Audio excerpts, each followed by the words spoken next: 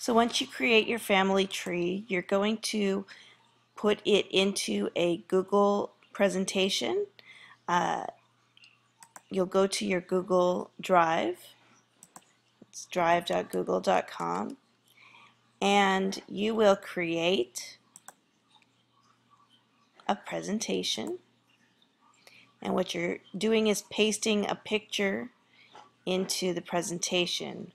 First, it's going to ask you to choose the slide format that you want to use. So you can use any one because we're just going to be pasting right on top.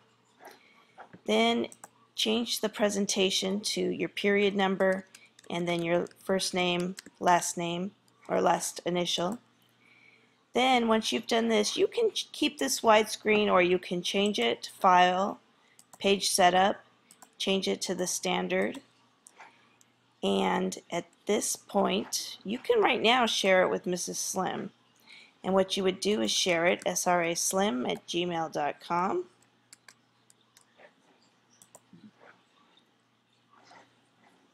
There it is. And now I have my family tree in a different browser. So here's my family tree. I'm on a Mac, so getting a screenshot is a little different, but I'm going to pretend like I have the screenshot from a PC. So here we are. I have the uh, screenshot. I've done a print screen into the um, program. Now that I've done my print screen, I'm going to do a Control V on a PC like the ones at school to get what's stored in my clipboard onto this slide. Now I have my screenshot in the slide, but I'd like to extend this so that when you print this, you're going to only print the family tree. Now one of the things I learned about the family tree is you can put in people's uh, dates of birth what you need to do is click on show instead of showing show name only you can put show name and birth date. So let's see how that looks on the family tree. If you have already done your family tree you do not need to go back and do this. But so now it says show name only I can show life dates.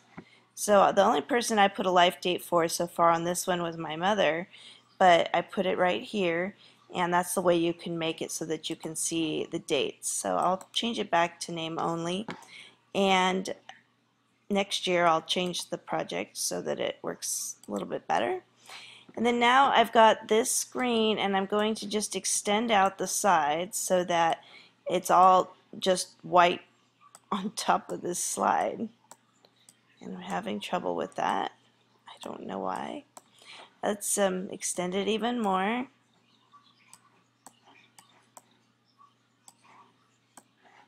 Okay, so you can see up in the screen on the left hand side, I still have this down here. Urgh. Let's do that. Okay, let's just pretend it looks good. Um, no, let's not do that. Let's actually make it look good. Alright, there we go. So we've got pretty much a white border. If you look over here in the left hand corner, it tells you what the slide's going to look like. Um, let's just say I made a couple mistakes, and I think I did make a couple mistakes on this slide. And I've already shared this with Mrs. Slim, so she can see everything, but she's just going to get my final draft. What I can do is I can click on Shape. And um, let's see if I did make mistakes. Okay, Edith is my grandma, John's my grandpa, this is my mom, my dad, my uncle. Uh oh, I put Tia. That's wrong. So let's put this shape, and I'll just put a little square right here see what we can do. Then I can right click and I can put in edit text. And instead of Tio, I, or Tia, I would like to put Tio. Now, um, again, if you don't know how to do the accent marks, you can go to ilovespanish.net and you would, um, on the right hand side, find those things um, typing accented letters. I should make it look a little more outstanding. It doesn't look too outstanding right now. So I'll click that and uh, right here you can just type in the A or the I or whatever you need and then what you're going to do is a control C to get that into your um, clipboard and then you're going to come back to your thing and then you can do a control V to get that I in there. I already did it but uh, let's just pretend. So I have my me. Oh, this wait. That's not my grandmother. That's my my sister. That's my sister. This is my mother. My father. This would be my sister. So again, I'm going to go to this shape. Click on the shapes. Get like a squarish looking shape. It doesn't have to be perfect, but I just want you to be able to correct your errors. And I'll right click on it. Edit text, and that is that's my sister hermana. So if you have made mistakes, it's okay.